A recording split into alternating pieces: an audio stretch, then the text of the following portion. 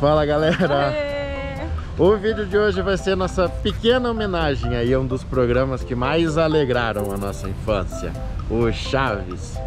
Nós vamos agora visitar o cemitério onde está enterrado o Seu Madruga e a Dona Clotilde, ou Bruxa do 71. E depois vamos no outro que é onde está enterrado o Chaves.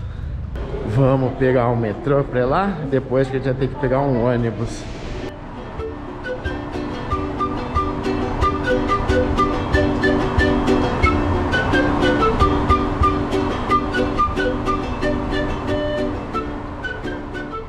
O cemitério fica a 2km, dava pra ir a pé, tranquila, mas a gente pegou o ônibus pra chegar mais rápido. Passagem custa 6 pesos, tá baratinha.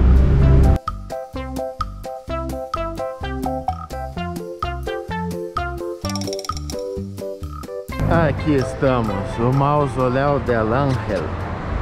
Oh, oh. oh, oh, cerrado por Covid. A gente não vai conseguir mostrar dessa vez que droga. Bom, é uma pena. Vamos lá no do Chaves agora ver se a gente consegue visitar. Esse a gente já visitou outra vez que a gente esteve no México.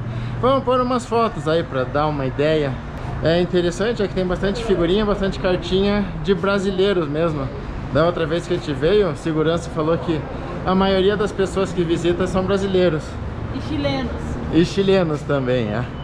E é interessante que na vida real os dois eram amigos, né? Apesar do Dom Ramon, ou Seu Madruga, viver fugindo da bruxa de 71, na vida real foi ele que convidou ela para fazer parte do programa, ele que indicou a atriz para o X-Perito, né? Pro Chaves, para integrar o elenco. E depois da morte, finalmente ficaram juntos eternamente. Aí a bruxa de 71 deve ter ficado feliz. Outro fato curioso é que os dois aparentemente morreram em decorrência do vício no cigarro, né? Ela teve câncer no pulmão e ele no estômago. O Dom Ramon, aliás, esse é o nome do ator e do personagem, né? Em espanhol chamam o seu Madruga de Dom Ramon e o ator se chama Ramon Valdez. Ele era tão viciado em cigarro que às vezes ele fumava até no programa, tem episódio que aparece ele fumando.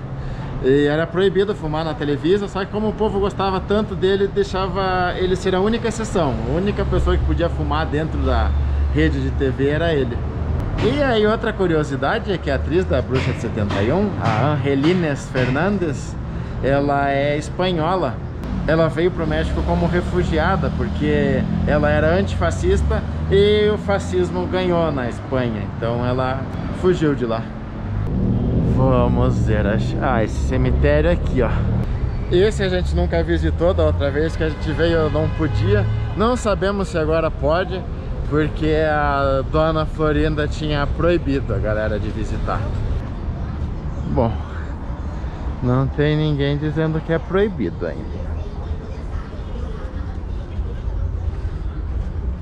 É, proibido, galera. Fomos barrados.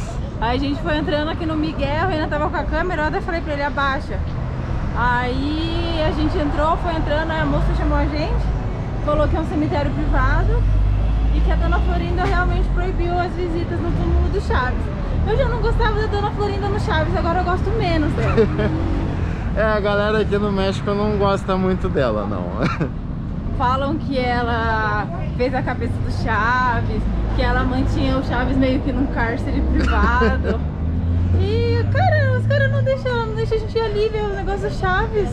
A gente sabe que um monte de gente já visitou, tá? Um monte de vídeo do YouTube aí como fizeram, não sei.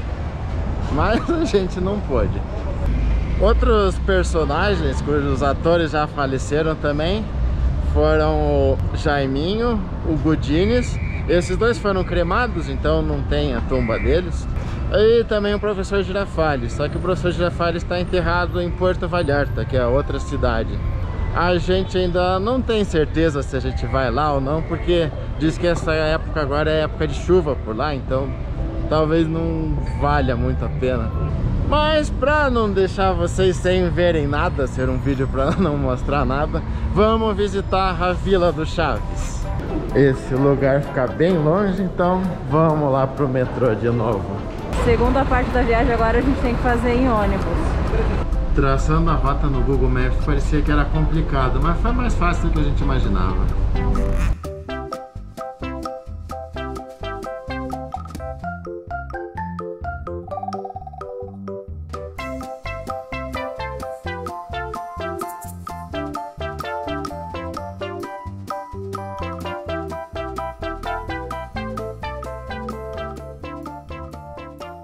E por fim chegamos.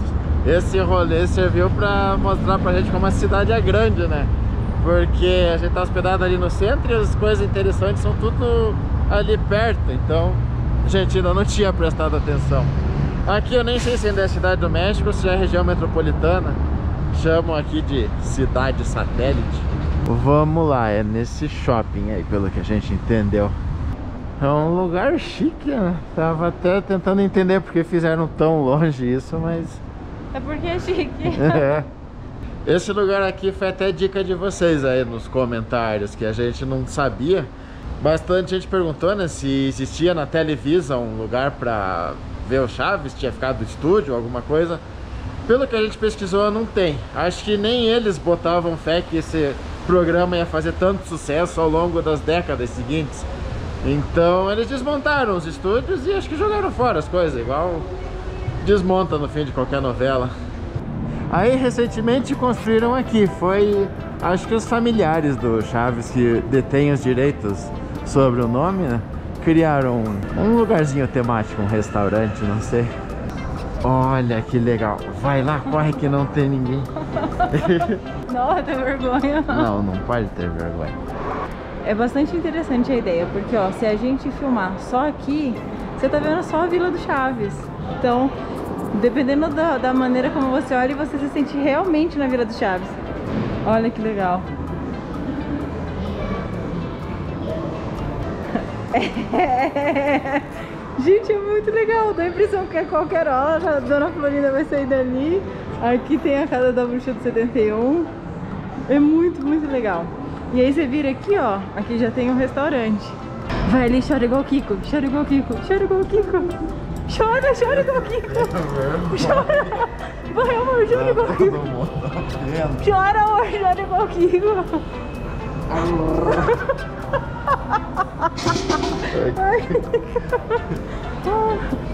Agora vai ali e fica chutando o barril igual o Chaves quando tá nervoso. Não, não.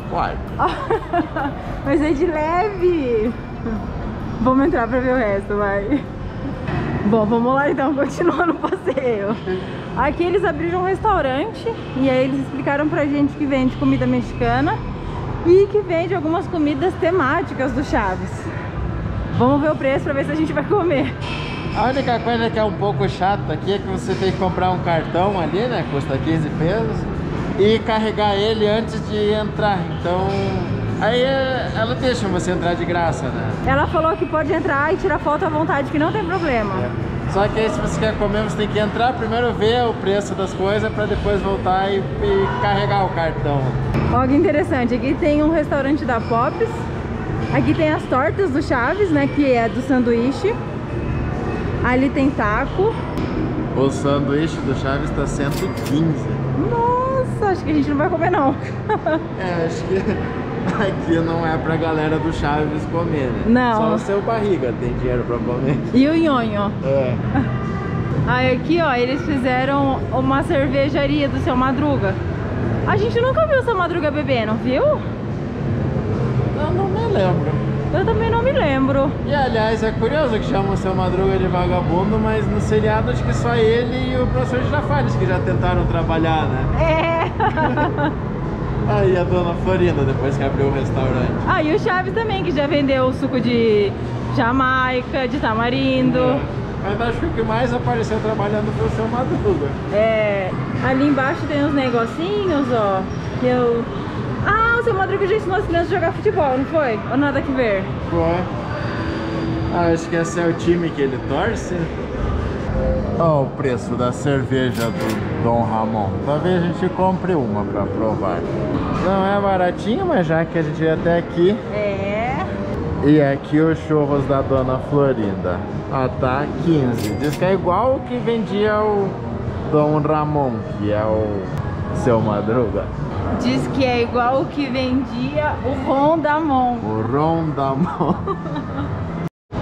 e tem uma plaquinha aqui, ó. Alguém disse café, que é o que ela falava pro professor Girafales. É muito legal.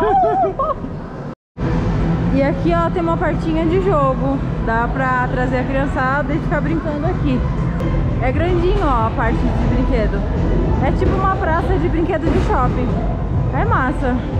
Eu gostei. É longe pra caramba, mas valeu muito o passeio. É. Oh, não resistimos, compramos o cartãozinho. Vamos provar a cerveja e o churros. Agora sai correndo. Não, porque eu quero brigar com a Dona Florinda. Eu quero que ela entenda que as pessoas querem visitar o Chaves no cemitério pra homenagear ele, porque a gente gosta do Chaves. Eu vou tentar explicar pra ela. Esse tem que bater e sair correndo.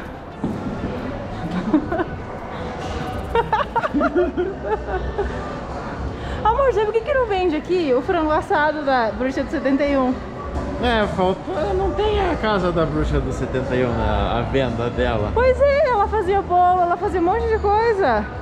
A gente não mostrou esse, ó, mas tem uma Kombi do seu barriga. Ele vende doces.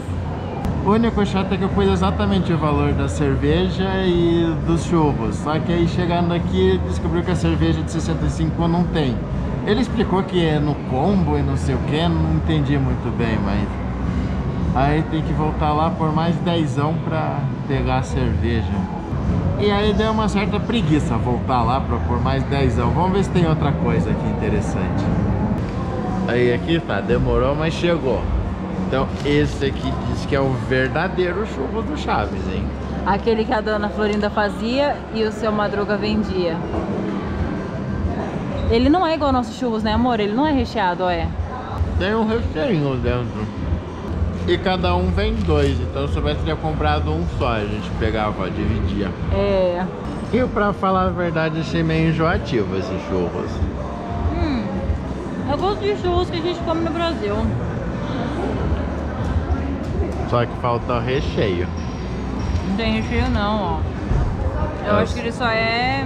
Massinha que é molhada. Eu sou a doida do doce, né? Mas eu comi um churros e o segundo tá difícil. É muito doce de verdade. O Renan até fugiu.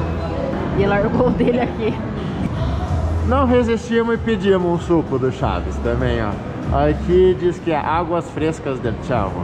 No idioma original, o suco tinha de limão, de tamarindo e de jamaica. Acho que no Brasil traduziram para ova. E bom, aqui estão as combinações. A gente pediu aqui tem gosto de limão. Vamos ver que cara ela vem. O suco do Chaves custa 25 e a cerveja saiu por 75. Aqui a cerveja do seu Madruga veio. É bem grande o copo.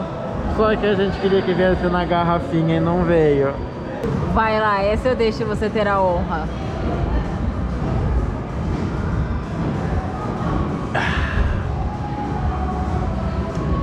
Graças. ah, a gente pediu pra ele, ele trouxe a garrafinha na mesa pra gente fazer uma pose aqui. Então vai lá, faz de quanto que eu tô tomando. É. Coça linda, coça hermosa, coça bien hecha. Ai, que legal, igual ele falava pra vizinha.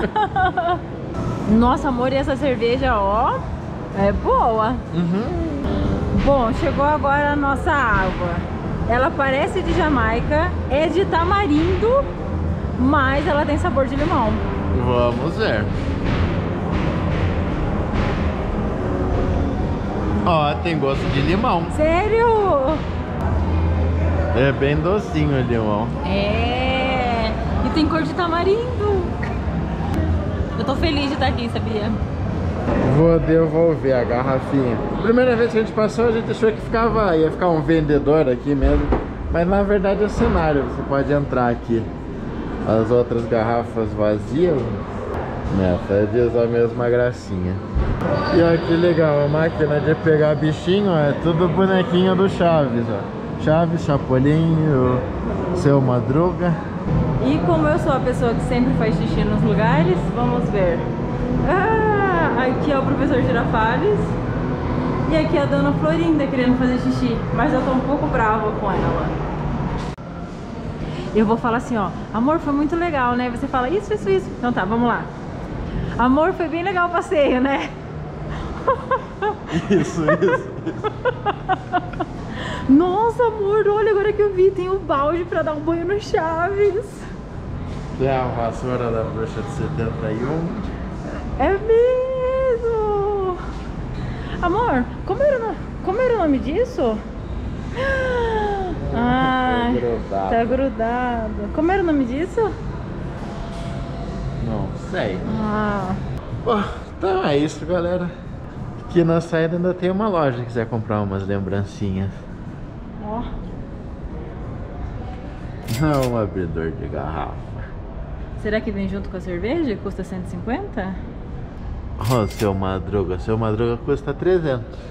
Vamos comprar um bichinho pra viajar junto? O Mocovinho é ciumento. Eu acho que a gente tinha que levar a mochila, porque se um dia a gente tiver um filho, ele vai gostar dessa mochila. Olha, tem o cabeção do Chaves. Nossa, é muito caro! Nossa, ele é incrível! Mesmo um pouquinho mais barato de comprar. É. É 300 também o bonequinho de Chaves. E aqui é 300 mais 120 da xicrinha. A televisão do seu Madruga. Uhum, pra montar um nhonho. É, bom, então é isso, galera. Espero que tenham curtido aí o passeio. Começou tudo errado esse vídeo, mas no final deu legal, né? É, eu também achei. Tomara que vocês tenham gostado também. Então é isso, galera. Até a próxima.